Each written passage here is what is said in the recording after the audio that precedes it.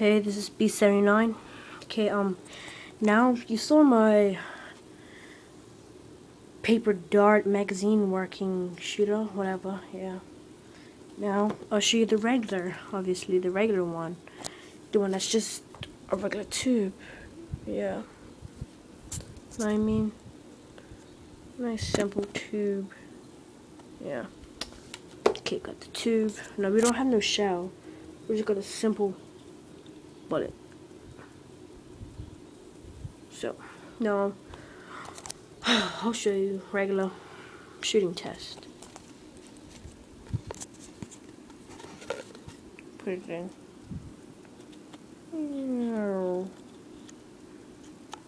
Got it in.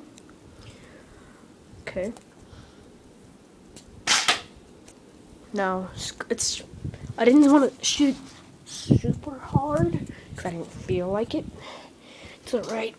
Now, what else can I do with this? Um, yeah, I also make some targets out of it. Like, from the paper, I draw a circle, then another big circle, and then another one around it.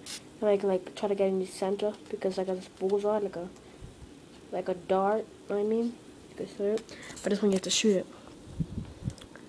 Yeah, and I am gonna show you my next one. You have to shoot, like, it's like a, like a, like, I forget what it's called. One of the things you, like, cock it back like this. My next one, and go, and I'll put the bullet right here, and I'll push it forward.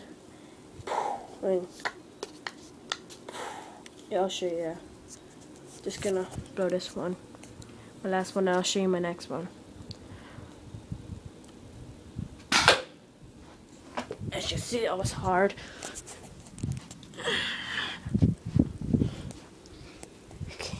Yeah, and I forgot to tell you, there's games that was, I was talking about earlier, the Black Ops, the MW3, and the Battlefield 3.